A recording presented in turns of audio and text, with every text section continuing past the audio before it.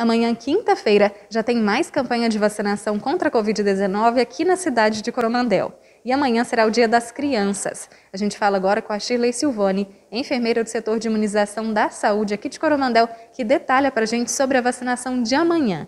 Shirley, dando continuidade a esse calendário vacinal contra a Covid aqui na cidade de Coromandel, qual será a idade né, das crianças vacinadas amanhã, quinta-feira? É, amanhã fechamos né, o, a faixa etária, né, dando início à campanha né, para as crianças de 5 anos. E na, acontecerá nas unidades de saúde do Brasil Novo e Mangabeiras. E amanhã acontecerá apenas para as crianças de 5 anos. Né?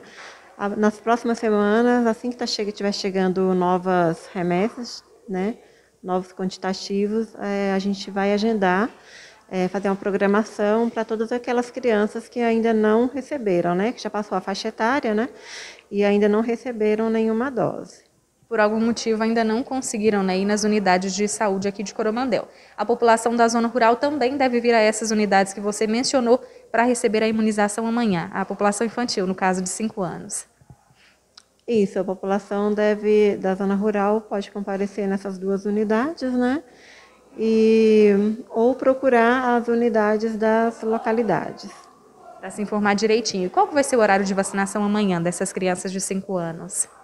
É das 8 às 15 horas. E não esquecer, né, de a criança deve ir acompanhada pelo pai ou pela mãe. Se não for possível, deve ser preenchida uma autorização, né?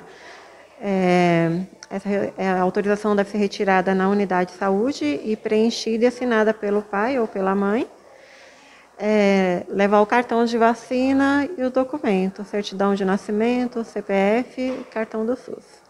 Chile, já aproveitando e falando aí sobre essa vacinação infantil, como é que está aí essa procura das crianças, juntamente com seus pais e responsáveis, para essa imunização desse grupo aí, a partir dos 5 anos, aqui na cidade de Coromandel? A procura está sendo razoável, né? Mas é, acredito que ainda falta grande parte ainda da população nessa faixa etária ainda ser e ser imunizado, receber a vacina. Pessoal, se atentar então em procurar as unidades de saúde. Shirley, muito obrigada pelas informações. Clarice Bernardes para a Rádio Gerais FM.